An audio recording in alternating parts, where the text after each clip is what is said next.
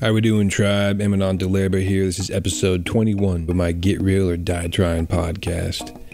I'm very excited and honored today to be speaking with Sam Childers, the machine gun preacher. If you're not familiar with who he is and his work, check it out.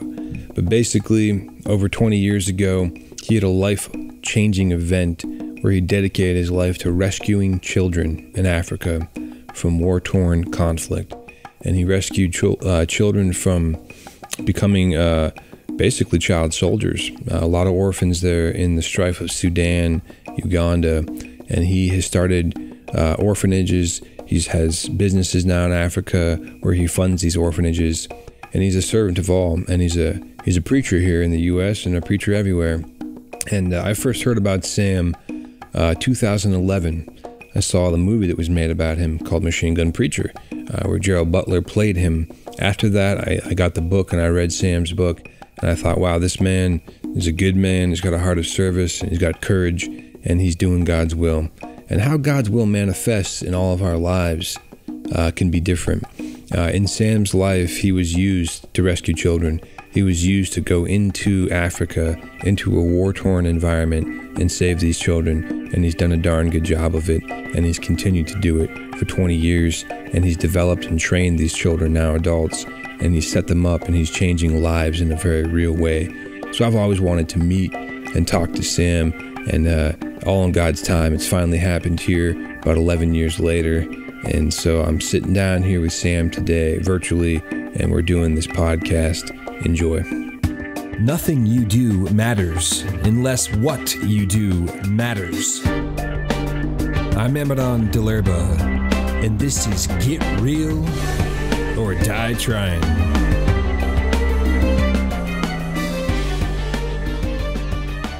How you doing, Sam?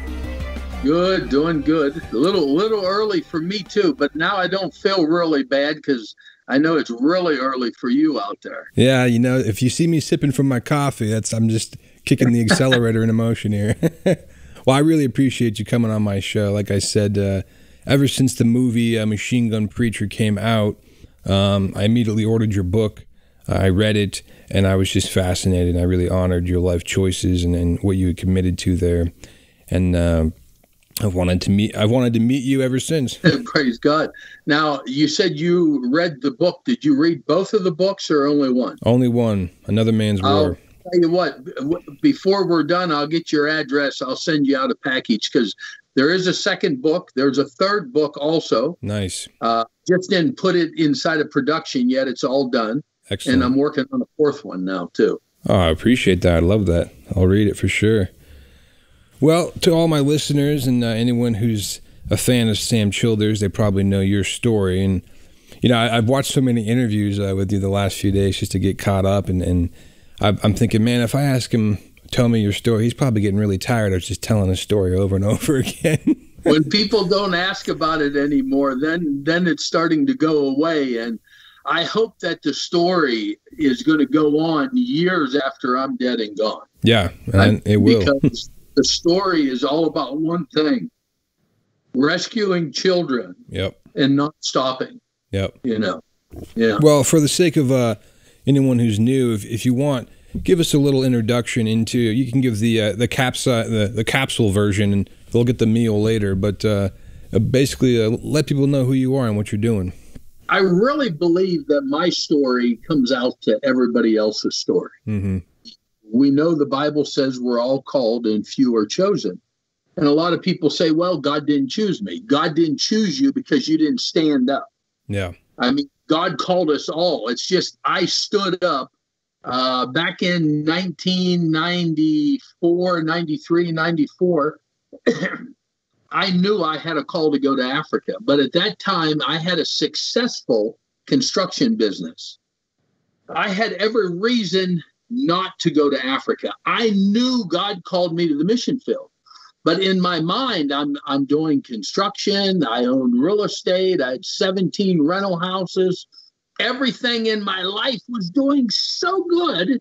And then all of a sudden, God kind of shook it up. Mm-hmm. And so I started putting money into Africa. I started sowing thousands of dollars because I had the money And I was literally saying this to God God, wouldn't you rather have my money?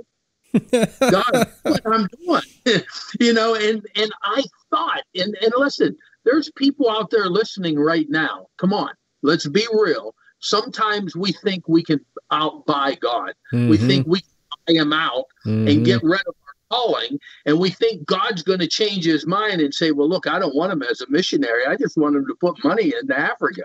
Yeah, it didn't work so for years, I mean, I started putting a little bit in, and then all of a sudden, 1996, 97, I'm literally putting thousands, thousands of dollars. The one year I put over $50,000 for a small time contractor and businessman. That was a lot of money, you know. Yeah. And then finally, finally in 1998, I said, you know what, God? I said, okay, I got your point. I'm going to go to Africa and I'm going to preach, and then I'm going to come home and I'm going to get you off my back.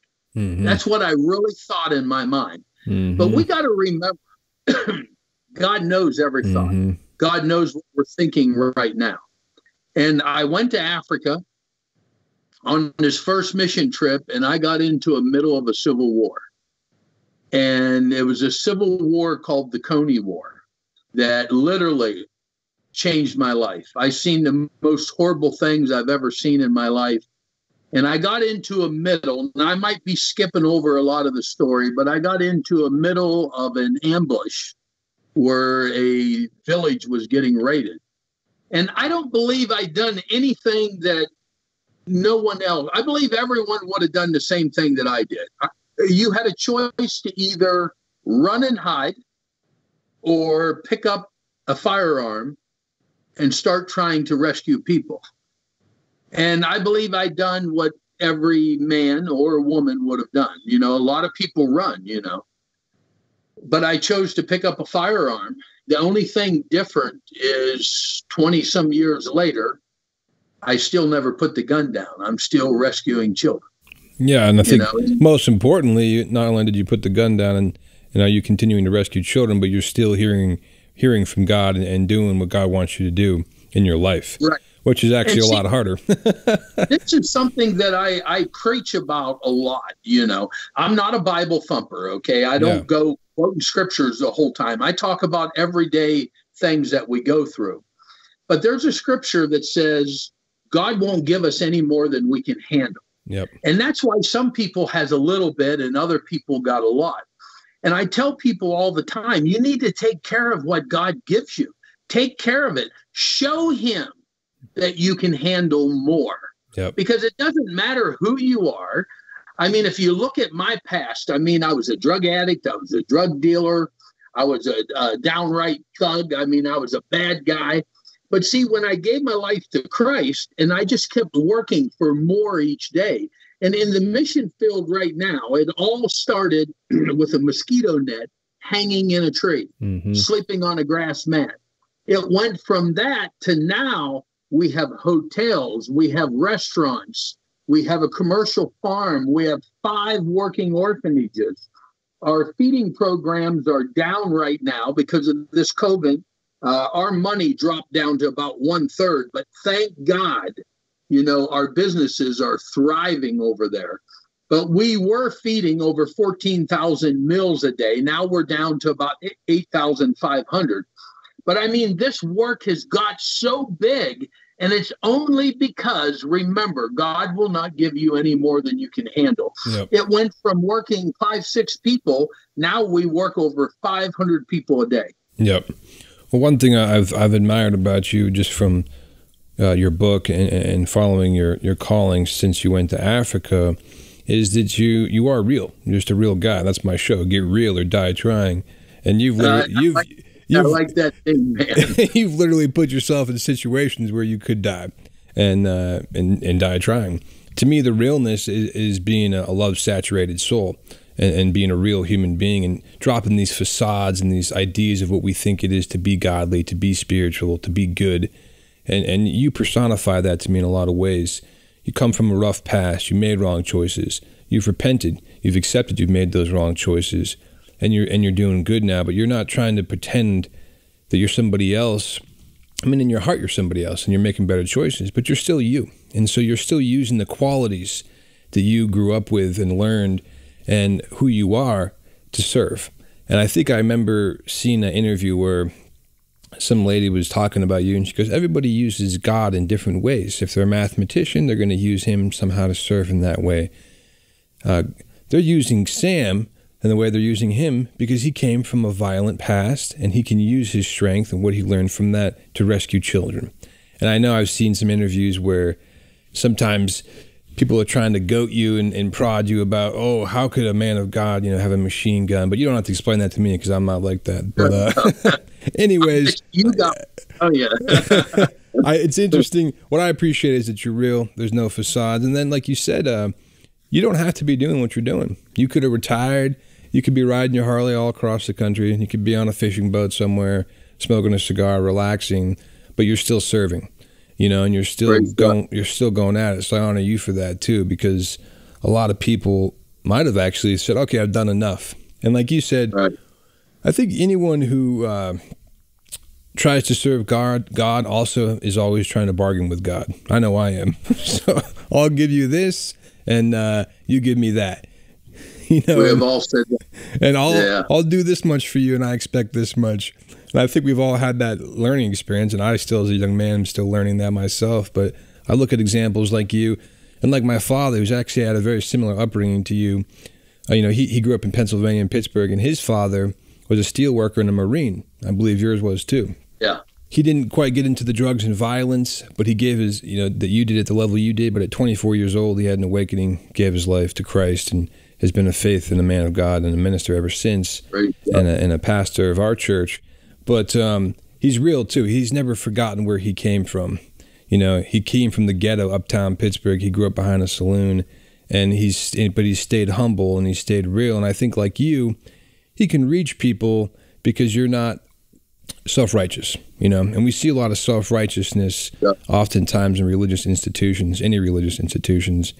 I like that your church is, is actually doing the work and ministering to the people off the street, the people who are the the drug addicts. And what's really crazy is our pastor now is from Pittsburgh. Wow. And he's like 34, 35 years old. And I mean, he had a pretty rough past and everything, but he's right out of that area of Pittsburgh where the drugs are really bad and everything. And and now he's pastoring Three C's Church. Yeah. Uh, is right here in Central City, Pennsylvania. It's a church that I founded and that used to Something be the the Shekinah Awakening, right? The Shekinah. Or... Uh, no, changed the name to Three C's. Yeah, it was Shekinah Fellowship.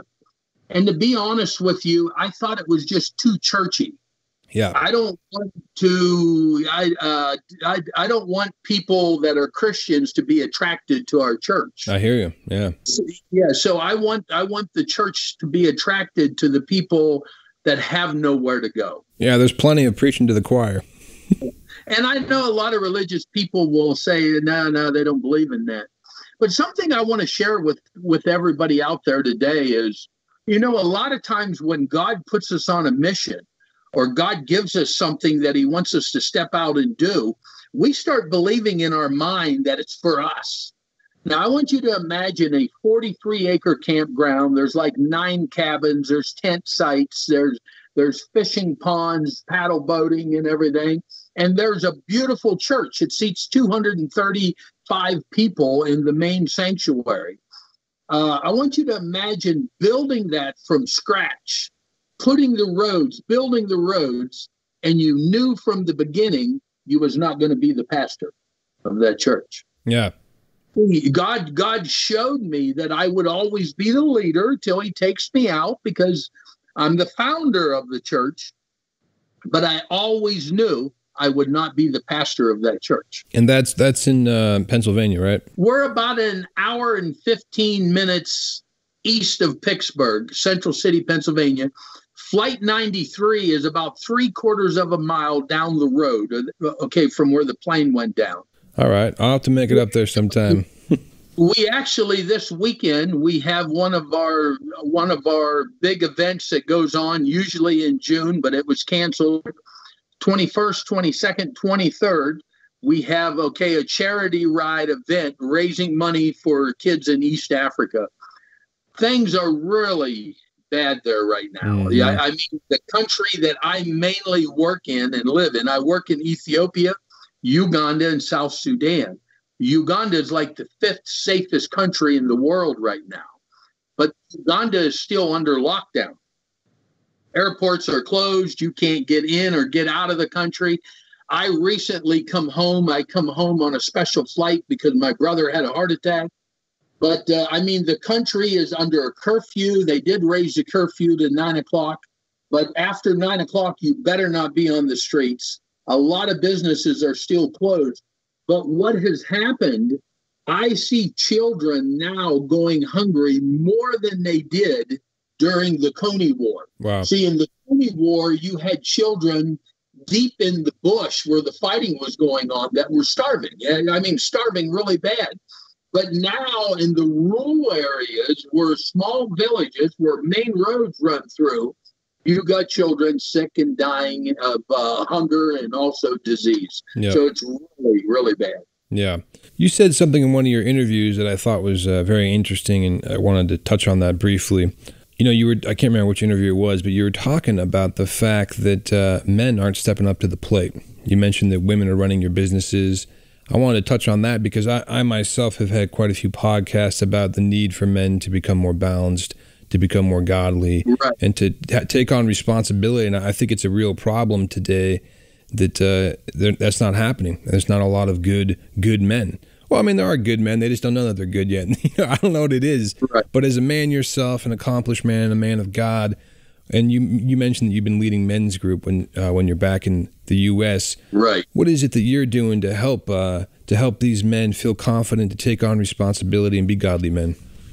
I believe that men need to focus on, on stop trying to get rich quick mm-hmm. and focus on pleasing God and allow God to give you the things of the world that you might want. And I'm talking about a new home, I'm talking about a car, I'm talking about a nice Harley, okay? A lot of times, as a man, we'll do anything to get rich quick so we can get this item or get this item. But see, God gives us all those things. See, there's a big difference. Like some some people will say, "Man, how you like my new Cadillac Escalade? Look at look at what God did for me." But they got a five or six year payment book. God did not give you that Cadillac Escalade mm-hmm. because God gives you something. He doesn't give you a payment book. Now, God can give you the health to make the money for uh, uh, in order to make that payment. But see, when God truly gives us something, he hands it to us. I can't tell you how many motorcycles I was given, how many cars I was given over the years. But see, God sits back and He watches. What is He going to do with that? Mm-hmm.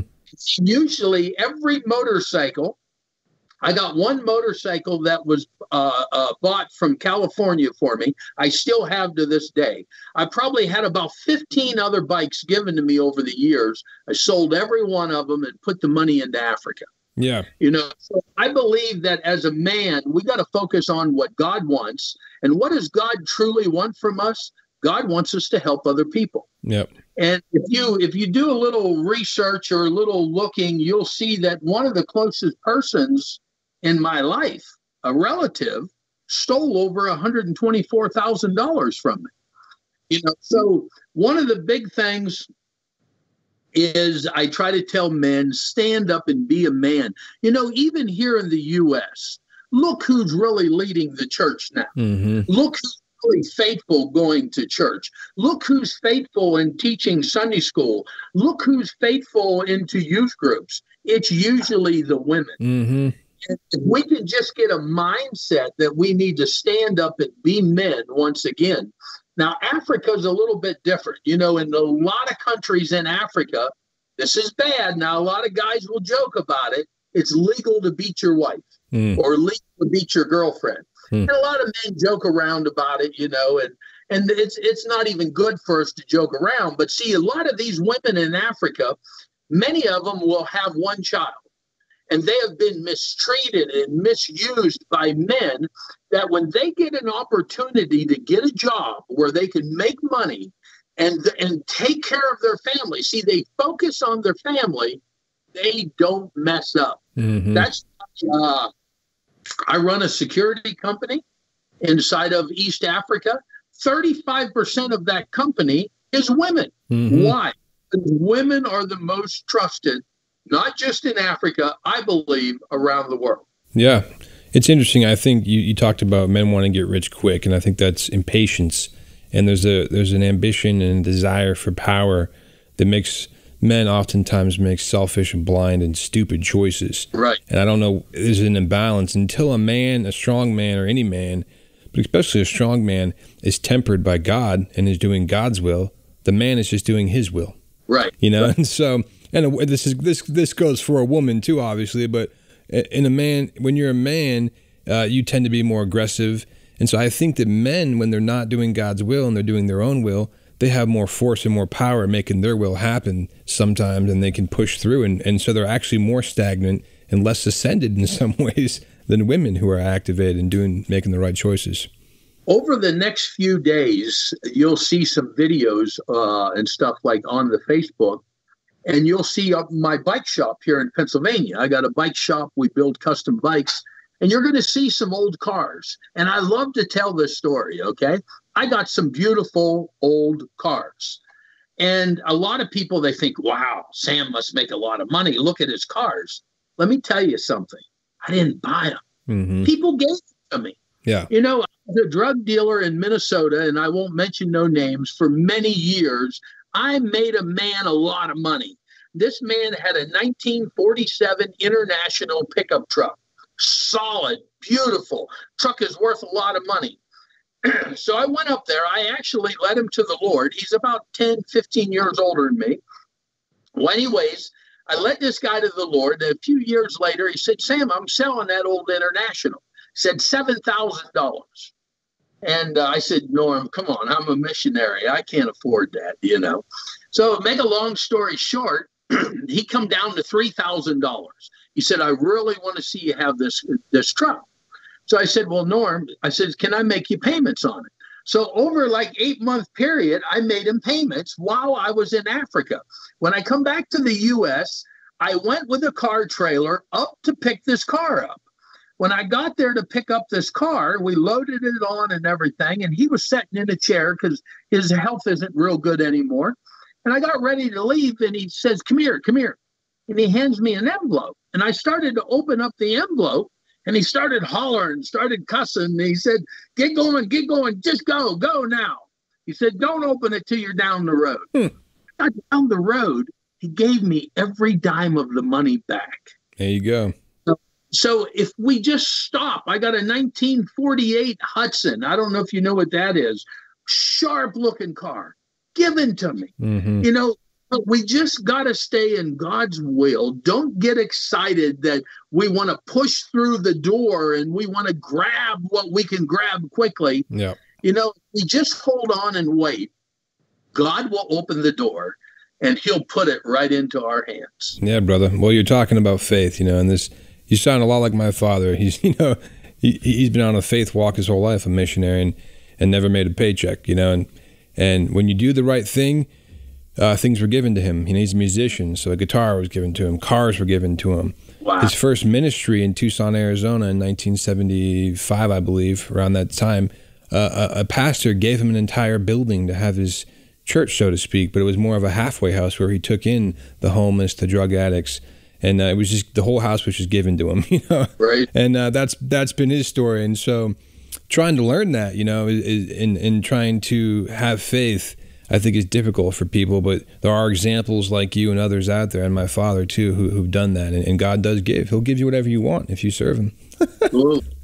we just got to be faithful. Yeah, brother. A couple more questions here. Um, well, you know, one of the things you did say in one of your interviews going along the lines of what we just said is, you know, you said someone said you're very lucky, and you said, no, I'm not lucky. I'm blessed. I thought that was an important reminder there. You know, it's not luck; you're blessed. I was lucky. I'd have hit the lottery before. But, That's right. Exactly. Know. I heard an interview also where you were talking about, you know, the mistake that a lot of churches make is that they think you can just be a missionary and go over and, and teach these people English and teach the gospel or and then, then then leave. And I really like what you said, you know, that's really not helping them and you're not changing their life when they don't have a means to survive. They need to be taught skills. They need to be given opportunity. And I really like that you're training uh, kids in your orphanage all the way up to 26 years old different life skills and they're learning things in these trades and they're actually changing their lives. They're not just, oh, here's the word of God, and then you leave. I've been I've been in most of Africa. Two thirds of Africa I have been in preaching and doing work. And something that I found out watching other missionaries for over two decades, they believe, especially in East Africa, oh, let's go there and let's teach people how to pray. They can teach us how to pray. Absolutely. You know, the problem with us when we go to church, we think church, if, if it's over an hour and a half, we're going to have a talk with that preacher. We're going to give him a piece of our mind. You know, a worship service, if we got to stand up and worship for 45 minutes, we're going to have another talk with that preacher because it's too long. That's what we believe. And I tell people don't go to church in Africa. Mm-hmm. Don't go because it's going to be four to eight hour service people will walk five miles and 10 miles to go to church. And they're like, hey, I'm not walking two hours to get here. And then we're only here for an hour. Yeah. They church, man. Yeah. And for to go there and say we're teaching people how to pray, I feel we've done nothing. Yeah. You know, Africa has everything it needs to function on its own. The only thing it needs is people to come in. Like we we have about a thousand acre farm teaching farming, ranching, and irrigation, some of the top technology ways. We gave away last year, not counting what we use on our own project, not counting what we sold. We gave away over 50 ton of rice last year. We're getting ready right now. I'm trying to raise a little bit of money right now so I can give away 32 to 35 ton of rice once again to starving people. We fed last year 65,000 people on Christmas Day. I'm not talking beans and rice. I'm talking we gave cows. We and see here's the other thing. When we pick our cows, my guys, I got three herdsmen for the cows. And every Christmas, they just drop their head because they know I'm going through the herd and I'm going to pick the best cows, the healthiest cows, and I'm giving away. But it's it's amazing. They've seen this over the years. They don't say nothing anymore because it's like the the mamas produce more cows that are just as healthy, you know.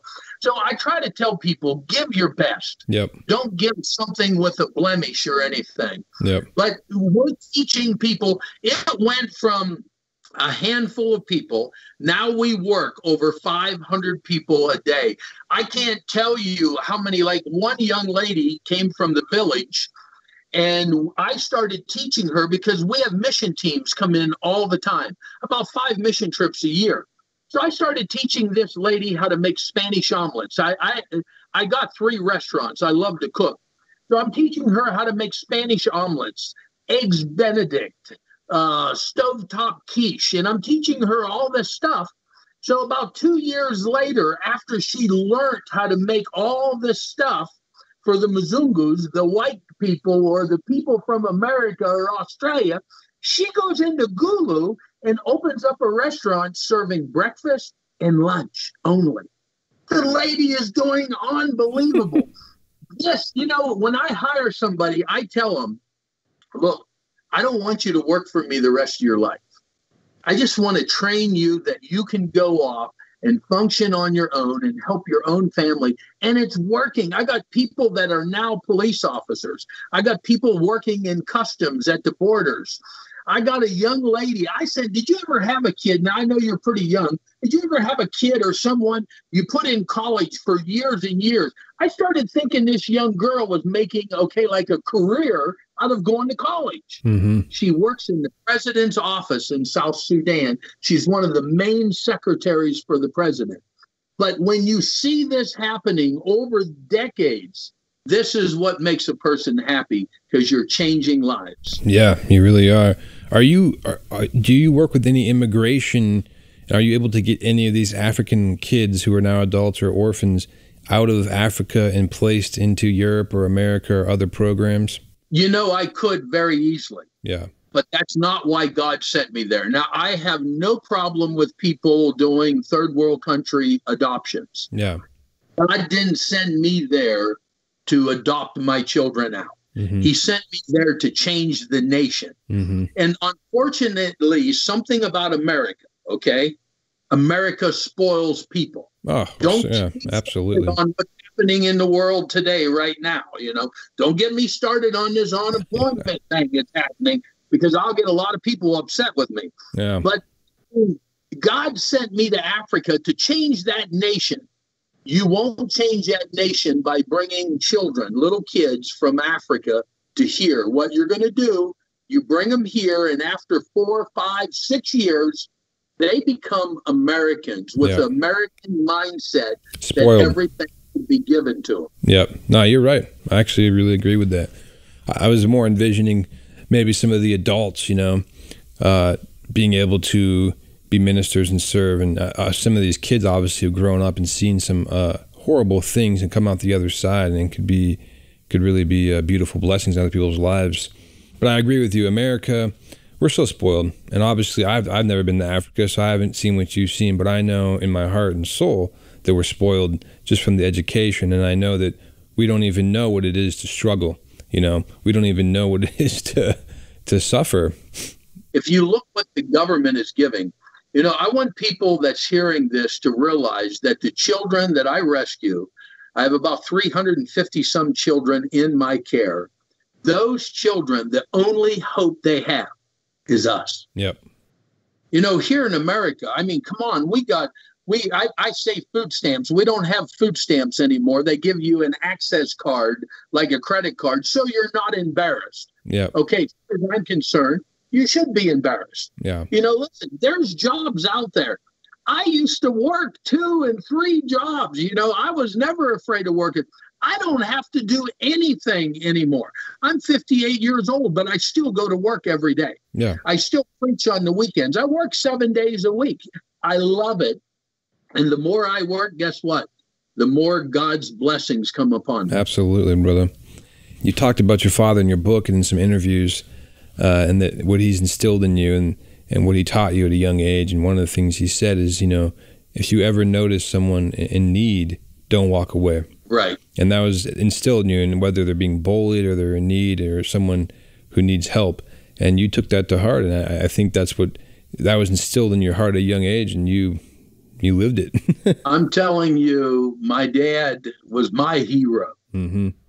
and uh, he had a third grade education. Yeah, but he believed in working. Yeah. My dad was a 50 some year iron worker building big buildings and everything. Was that Never, in Pittsburgh or where was he building? Uh, no, he we built I went to like seven different high schools growing up. Okay, yeah. I lived right. in Minnesota, North Dakota. I was born in North Dakota.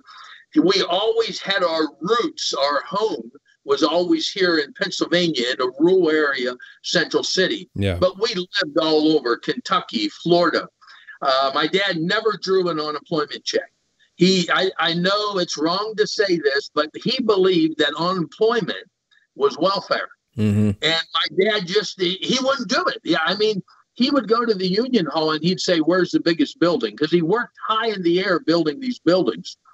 So he put in all three of us boys, there was three of us, uh, Paul Jr., George, and me.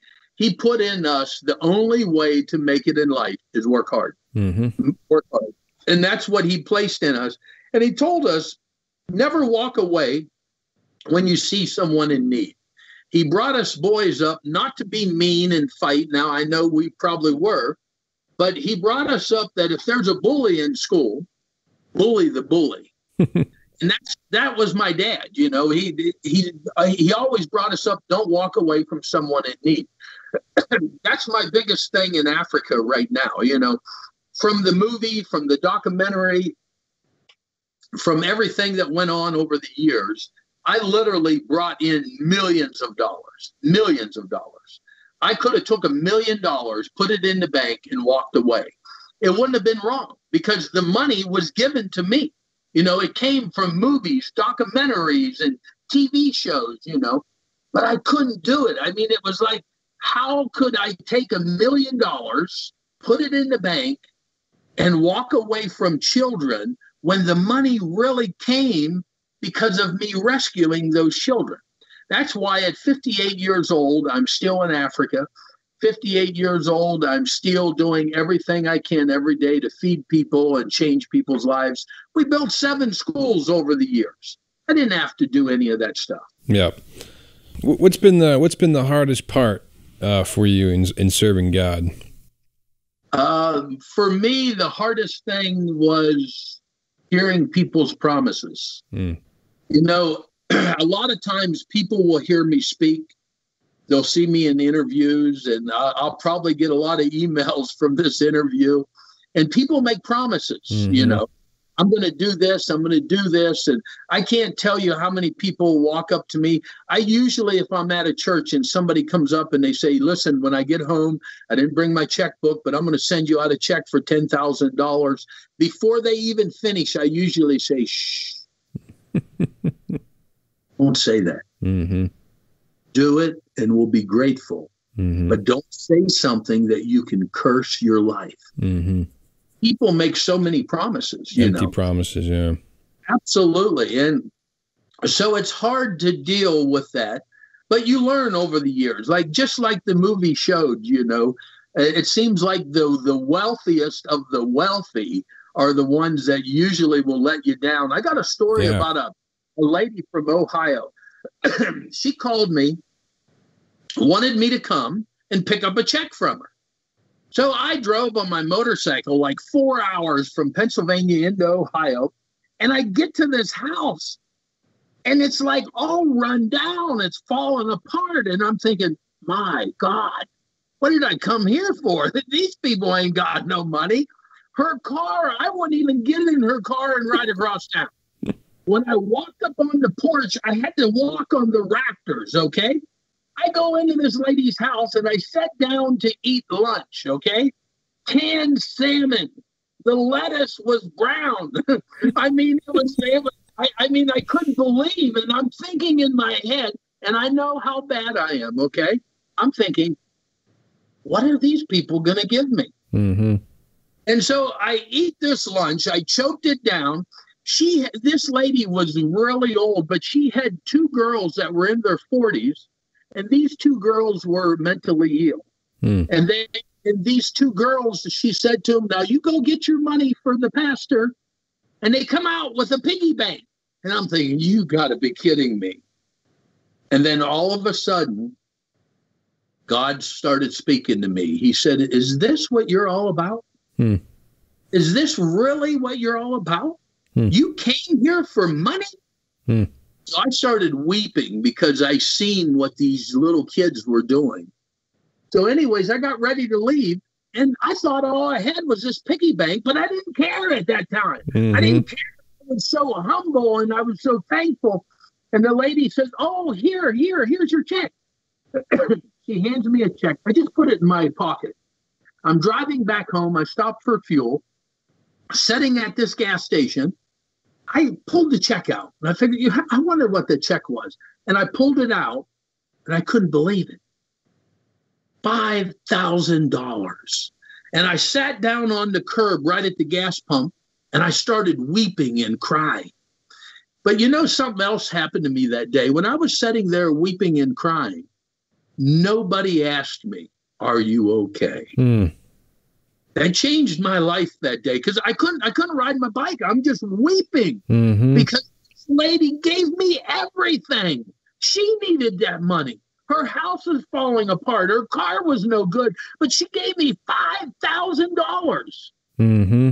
Changed my life. Yeah, and I got that story in one of my books because you know so many times we we think that you know people is not going to give you much because maybe their lifestyle. Yeah. But those usually the people that give it all. It's true. They I found that too in, in missionary work. They got the good hearts, you know, and sometimes the people with the most money, uh, they had the most money because they're the most selfish. not, not everybody, not everybody, but a lot. You know, I've seen Yeah. it many times. do, I do want to say our ministry has some faithful donors. Uh, this this year, now I haven't been on the road preaching in like nine months. yeah, Uh, September, I am doing some preaching in West Virginia and Kentucky. Uh, our money has went down about to one third of what we normally bring in, but I will say we have some faithful, faithful donors, and a lot of these donors they're faithful because they see the lifestyle I live. I live a very, not a very high lifestyle, but they know the work that I do in Africa, and they know I could walk away from it, but I refuse to do that. Yep. Another question I had for you is ad- adversity and misrepresentation. And I know that any public figure, anyone who's doing good work and actually has accomplished things, you're going to have the haters coming after you. You're going to have the people hacking at you, like you said. You're going to have people fault finding. Yeah. Um, have you? I know, I know that you've experienced that.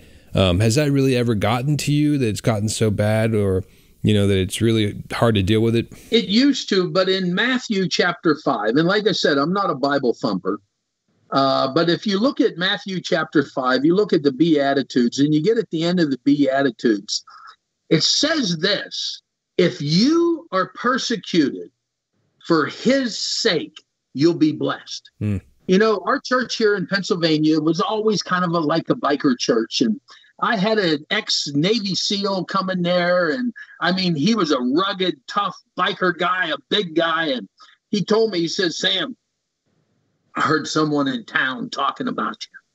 He says, I'm going to go down there. I'm going to work them over. And I said, please don't. and I was kind of laughing. I said, don't stop them. Let them talk. And he said, but they're talking about my pastor. And I and I read that verse.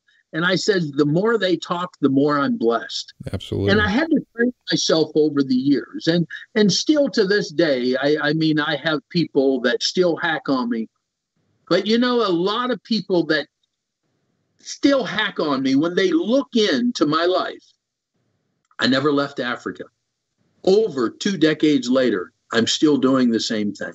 I had millions of dollars go through my hands. I said earlier, I built seven schools. I didn't have to build those schools. We built businesses from hotels to restaurants, and everything is focused on training centers to train people. Uh, our commercial farm, what we gave away last year in feeding on Christmas Day last year, we could have made a profit of a few hundred thousand dollars. But see, we didn't go for any of that. So I believe a lot of people that hack on me, when they really research and go deep, I believe they change their mind on me. Absolutely. Well, honestly, I think some of them, some people who do that are jealous, jealous of what you've achieved. I've I've found that myself, is eh, or they're jealous of your walk with God, or they want to be able to have the faith that you have, the courage that you have, the fortitude to achieve what you've achieved, and so they attack it because they're jealous. But that's okay. In time, they'll admire it and respect it instead. You know, Yeah. they're in God's hands. Yeah. So how can, besides donating to your your nonprofit, um, which I'm definitely going to share the links for everybody and so forth, how can people uh, help you? Are you do you take people over there to uh, Africa? Now, right now, because of this COVID, I Yeah. mean, uh, Uganda is the main country we fly into. They're shut down. A lot of people's hacking on the president there. I think he's done a really good job. Mm-hmm. to be fifth safest country in the world. We only had like two people die of it so far. Over 1,200 cases, 900 and some of them, almost a thousand, is recovered. You know, the thing that gets me in the world today, we talk about how many people got it, but we're not sharing how many people has recovered. You know, Yeah. so we do about five mission trips per year. What we do, like if you want to go, there's an application to fill out. And a lot of people get scared. They say, oh, maybe I can't go. We want to know your skills because when you get to Africa, that's what we use. We use your skills to teach our people. Yeah. And uh, the big thing that I tell people is when you go over, I mean, a lot of people struggle to get the money to go. But when they come home, I tell them, tell people about us. Get on Facebook, share your pictures, show what we're doing.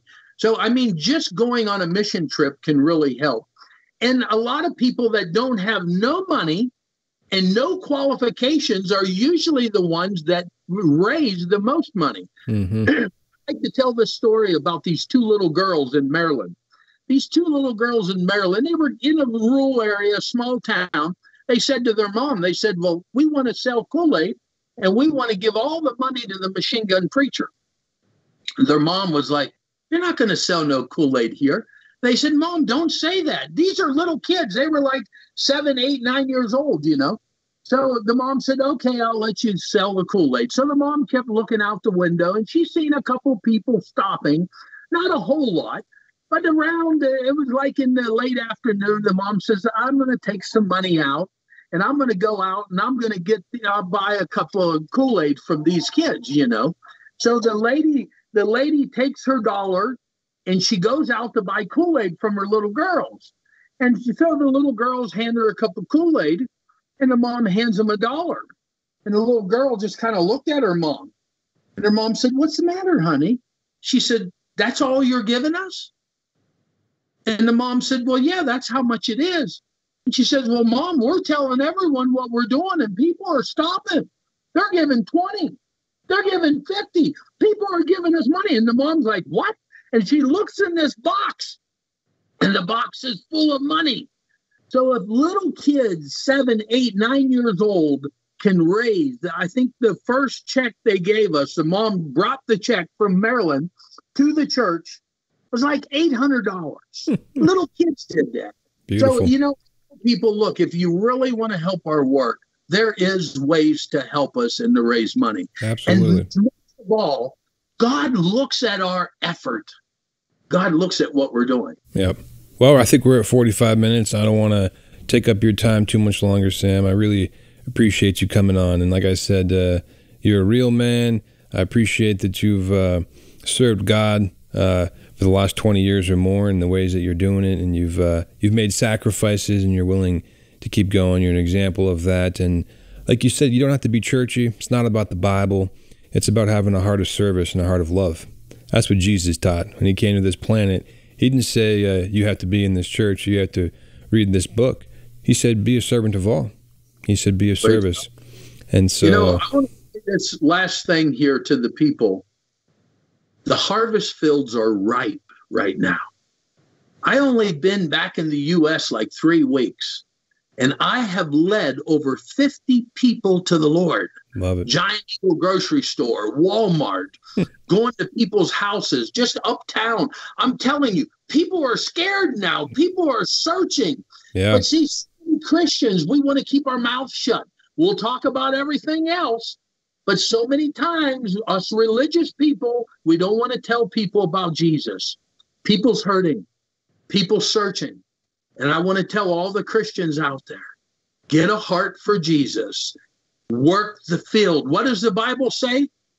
The harvest is plentiful, but the workers are few. Yep. This is when God wants us to work right now in the middle of this panic that's going on around the world. Yep. People are waiting to hear about Jesus. Yeah, you know, it's the good seed is being separated from the bad seed right now, and I think there's a spiritual uh, purification happening on the whole planet. It's all related with the pandemic and everything, and, and people got to turn to God and not turn to man. so true. Sam, will you uh, will you close out and say say a prayer? Say a prayer for us, brother. Yeah.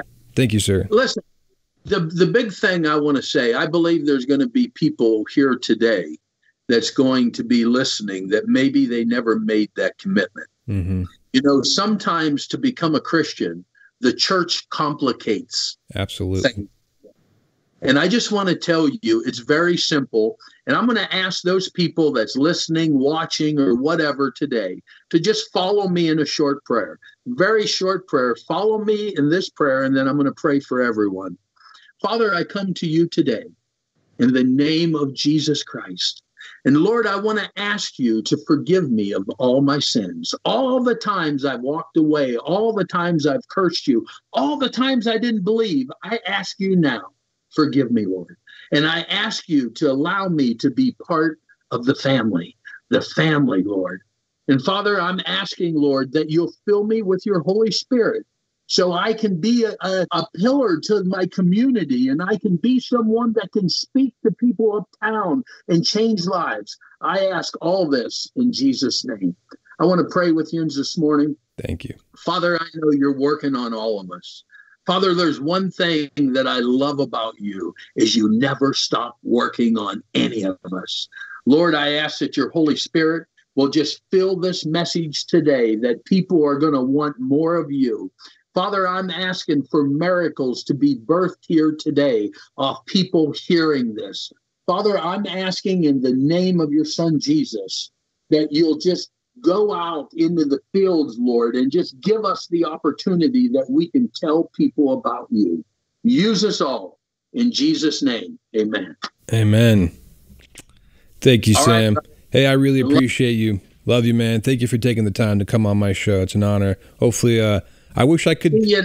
I wish I could just fly up to uh, to Pennsylvania this weekend and hit your rally, but uh, I don't think I can. Hey, our rally this weekend too. There's a special website. A lot of people around the world would like to come. Yeah. There's a special website. If you go to Facebook, Samuel Childers, Machine Gun Preacher, uh, Sam Childers, all these Facebook sites, you can click on at the bottom and go right to this thing. Even though you're not here, you can still be a part of it and still help us feed children. All right. So God bless you. God bless you, and thanks for your time, sir. Keep up the good work.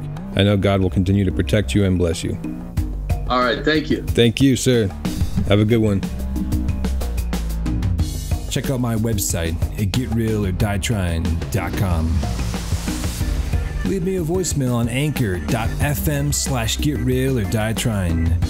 Rate and review us on Apple Podcasts or any of the platforms you listen on. Be sure to follow me on social media and share this podcast with your friends. Word of mouth is a great way to share the vibe. Get Real or Die Trying with Amadon DellErba is a production of Global Change Media. And remember, pain is temporary, victory is eternal.